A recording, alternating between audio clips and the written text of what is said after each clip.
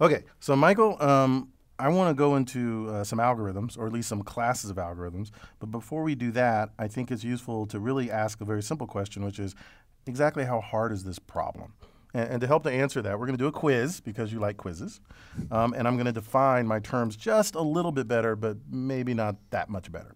So here's the quiz You've got a set of data with n features. And your goal is to find a subset of m features uh, where the size of that subset is no greater than the original subset, which makes sense. The original set of features in, uh, which makes sense. Okay?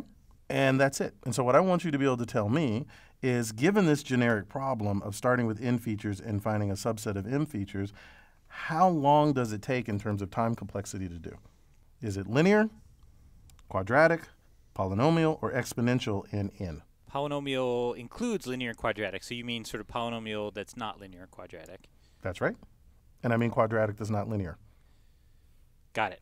And I mean exponential that's not polynomial or quadratic or linear. It's not. Well, it could be. You could have 2 to the n plus n squared, for example, times 0. You could do it. Don't mess with me, man. Okay, so you got the problem? Uh, just to just to make sure I understand. So so can you draw like a rectangle, like that's our input space x? Okay. So we got some input space x. This is a rectangle. And it's got n features, so those are like the columns. Okay. All right, uh, and we're going to select a subset m of those n features.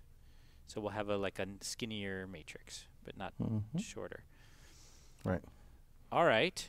So and can I choose any way I want to to define what subsets I like better than which other subsets? Because then I can Uh, do this really fast. So what we're going to do is there's going to be some function, let's just call it f, okay? Which given a set of features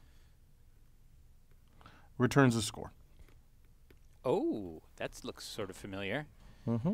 And this function may be arbitrarily complicated, it may be really simple, but you don't know what it is. Oh, all right. Then I think I think I can answer this question now. Okay, so let's go.